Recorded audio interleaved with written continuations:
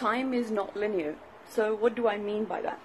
So, so many people think that time just has three phases, past, present, and future. So essentially, well, that was my past, this is now my present, and whatever's coming, like even 10 minutes from now, is a future one minute from now, 10 years from now.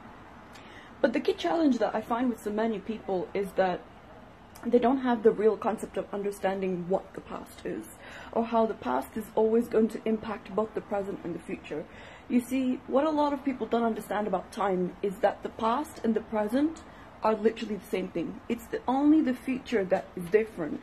And in order to shift what comes ahead, you need to heal a lot of things from your past. Lots of people say, leave your past behind, but the thing is that your past won't leave you because it's in your central nervous system, it's damaged your vagus nerve, you're mentally damaged.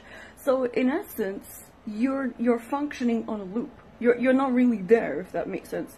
So the key goal when it comes to healing and having a healthy and good life for yourself is really working on your past, really working on well, you can't change the past, right? But you can change the perspective of how you look at your past so that you can have a brighter future tomorrow without your past constantly looping and tripping you up.